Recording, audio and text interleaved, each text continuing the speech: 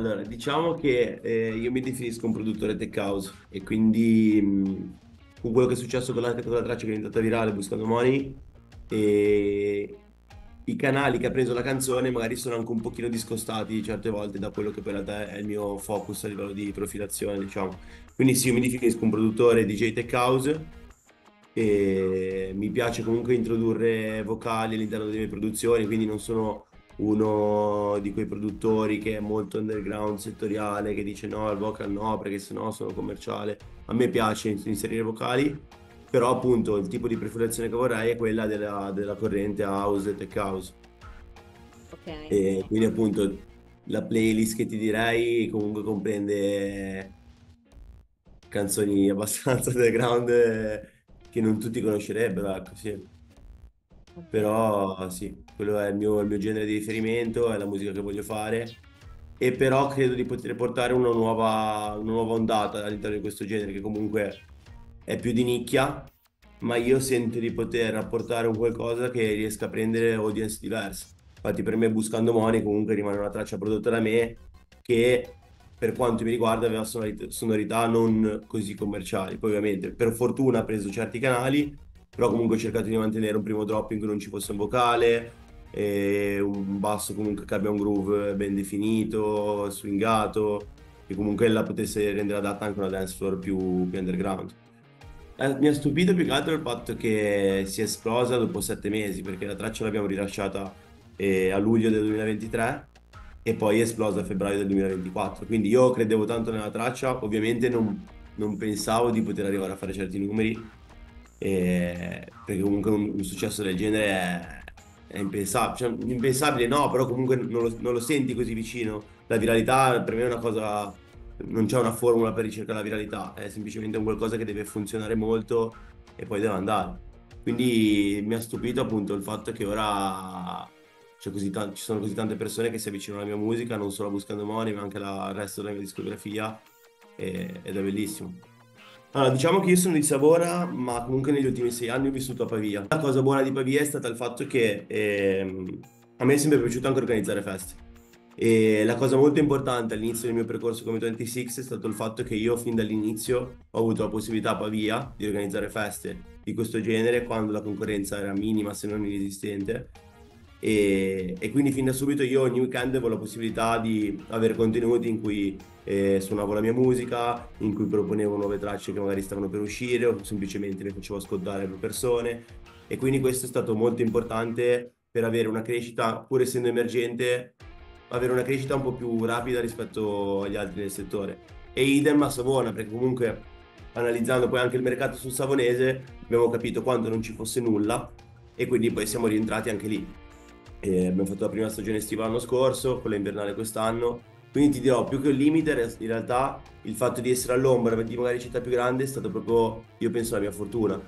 Perché siamo entrati in luoghi in cui non c'era nient'altro per quanto riguarda il tipo di prodotto che proponevamo e quindi abbiamo creato più affiliazione con la gente che frequentava gli eventi, quindi anche solo che le persone che spingevano la cosa erano molto più affiatate rispetto magari a una persona che ti viene a sentire a Milano una volta ma poi non ti risente per tre mesi.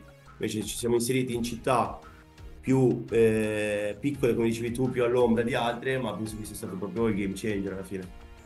Circa dieci anni fa mio padre mi aveva regalato una, una piccola console con cui ho iniziato a suonare, a suonicchiare così in casa mia, ma fin dall'inizio, a suonare, mi è sempre piaciuto anche proprio l'aspetto della produzione musicale, quindi del produrre qualcosa di mio, cercare di introdurre un qualcosa di diverso all'interno, prendendo ispirazione da eh, altre, altre produzioni che mi piacevano.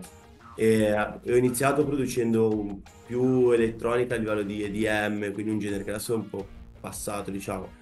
Verso i 18 anni, 19 ho iniziato a frequentare club più underground, quindi a presenziare serate più house, tech house e mi sono innamorato dell'atmosfera che si ricreava, quindi del- della connessione tra la dance floor e il DJ, del tipo di ambiente che si crea, qualcosa di più, io lo definisco elegante, però è proprio un tipo di, di connessione diversa. Quindi da lì ho virato su questo genere, ho fatto un- circa due anni in cui ho prodotto e basta, e senza far uscire niente per sentirmi poi pronto. E quando avevo all'incirca 10, 10 tracce pronte mi sono presentato al management con, con il quale lavoro tuttora e da lì abbiamo iniziato la nostra collaborazione, ho lanciato il progetto e è successo quello che stiamo vedendo. A livello di produttori penso che siamo molto forti, nel senso ogni giorno su Instagram mi imbatto in, in produttori magari per niente seguiti che però hanno qualità altissime, hanno tracce validissime da far uscire e a livello di club io mi sono sempre trovato bene anche in Italia, dico la verità. La, la maggior parte delle mie date le ho sempre fatte in Italia. Eh, mi piace la dance floor in Italia, il modo in cui reagiscono le persone.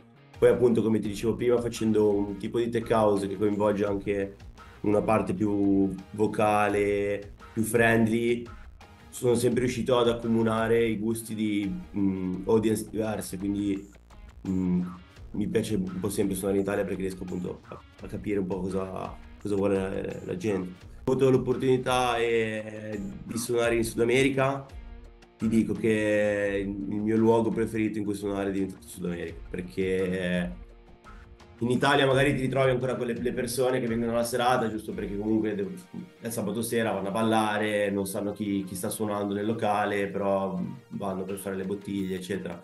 In Sud America mh, penso che il 90% delle persone che sono sulla dance floor sanno che serata è, chi è il band di riferimento, chi è il DJ che suona, sanno le tracce, si informano, sono più affiatati, capito? C'è proprio la, la, consapevolezza della serata che si sta andando a fare, l'interesse nel sentire di, differenti stili musicali, quando in Sud America c'è un DJ internazionale si, si sente l'importanza, l'importanza dell'evento. Qua a volte ci sono persone che sono proprio di, disinteressate, comunque distaccate dalla cosa. Io semplicemente voglio lavorare sulla mia musica e farla piacere a più persone possibile, in modo tale che quando suono io le persone devono essere interessate a venire all'evento. Questo è l'obiettivo finale unico. Quando ho la possibilità di suonare al di fuori da casa mia, anche al di fuori dall'Italia, non sono un turista di quelli che vedi in giro a guardare le chiese o i monumenti. Io cerco sempre di andare in uno studio e mettermi a produrre musica.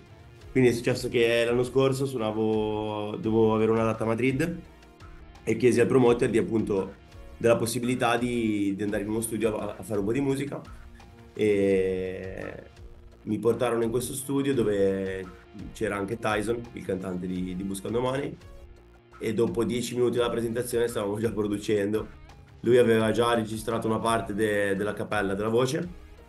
E abbiamo prodotto penso per 10-12 ore senza bere, senza mangiare, senza fare altro, proprio connessi tantissimo, non mi è mai successo con nessun altro, nel senso sono stato in tanti studi, però la connessione che ho provato con Tyson è stata proprio assurda, perché lui è un'altra persona come me, lui è anche produttore, quindi ci capivamo, ogni, ogni modifica che volevamo fare la facevamo in un secondo, quindi immaginati per 10 ore produrre questa intensità, con questa connessione, doveva per forza uscire qualcosa di, di perfetto.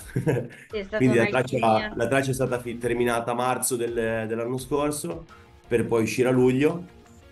E, e, poi la viralità è arrivata in realtà dopo, dopo, un bel po' di tempo perché fino a febbraio eravamo mi sembra più o meno intorno al mezzo milione di ascolti. E da febbraio a maggio ne ha fatti 100 milioni. Per me è sempre un periodo fertile perché come ti dicevo prima la cosa che mi è sempre piaciuta di più è, stata, è, è quella di produrre musica quindi ho già più di 10 canzoni che sono già pronte, pronte per essere mandate a, alle etichette, a, in promozione agli altri DJ, continuo a suonarle. E poi ovviamente ho anche release già programmate, venerdì prossimo c'è la mia prossima release su Spinning Records che si chiama BD Bam in collaborazione con Jen Morel che è una cantante molto molto brava americana. E ad agosto avrò un EP su una label un po' più underground con un remix di Stefano Noferini che è un pilastro di, di questo genere e stiamo lavorando per eh, far uscire a settembre il, la nuova traccia con il cantante di Buscandoni. A livello di cantanti non sogno grandi collaborazioni perché mi imbatto con quello che mi è successo con Buscando Money mi imbatto spesso in eh, cantanti molto emergenti oppure vocalist che mi mandano sample e quindi per il tipo di musica che voglio fare io non ho bisogno del cantante ultra famoso la collaborazione dei miei sogni ce l'avrei più che altro magari con, eh, con artisti, con, con, DJ, produttori. Quindi ti posso dire Michael Bivi, non so se, se l'hai mai sentito, Pausa, Black Child. e comunque artisti, più DJ che cantanti, ecco, per quanto riguarda le collaborazioni dei sogni. Sarò in Ecuador e quindi ho 5 date in Ecuador, poi farò la mia prima data a Ibiza a metà giugno, Parma, poi abbiamo già confermato altre date in Sud America, quindi avremo Colombia, Brasile, Uruguay, Messico. E stiamo lavorando per gli Stati Uniti perché stiamo iniziando ad ottenere le prime riqu- le richieste, ma dobbiamo lavorare per i permessi. E poi avrò Corfu a Ferragosto, a Ibiza avrò più o meno sette date se non mi sbaglio, tante in Italia, tante in Spagna. Lavoro più che posso, cerco di, di fare più serate possibile, di conoscere nuova gente più che posso, creare nuove connessioni. Penso che in questo periodo sia fondamentale espandermi più, più che posso. Riposarmi avrò tempo più avanti, adesso non mi sembra assolutamente il momento di riposare. Ti direi lo Space Miami. Mm. Space Miami è sicuramente uno degli obiettivi per il prossimo anno. Sì. Ok, quindi un sogno però su cui stai lavorando, non, non resta... Esatto, esatto, te l'ho detto, adesso stiamo iniziando a ricevere le prime richieste negli Stati Uniti, è un processo, non dico lento, però comunque bisogna prendersi tempo per far combaciare tutto a livello legale, quindi per permessi, con la visa, per poter presenziare e lavorare negli Stati Uniti e una volta che si è dentro comunque penso che con le mie capacità posso farmi notare tranquillamente. Mm. E quindi tra gli obiettivi dell'anno prossimo inserirei sicuramente lo Space di Miami. E da qui a dieci anni dove ti vedi? Eh, quello non, non saprei dirlo sinceramente, perché è talmente una cosa che cresce costantemente che mi mette male pensare a, a dieci anni, perché guarda in tre mesi cosa è successo, quindi non oso immaginare tra dieci anni. Magari sono presidente degli Stati Uniti tra dieci anni. Oh, mai dire mai, ci lasciamo stupire da, da tutto. Esatto. Eh? No, tra dieci anni sinceramente penso sicuramente di essere a un buon livello, ma non saprei catalogare, definirti bene dove potrei essere. Sono aperto a tutto, sono aperto a mischiare qualsiasi tipo di genere, a, a cambiare la, il mio approccio alle cose, quindi so sicuramente che sarò a un buon livello. Ecco.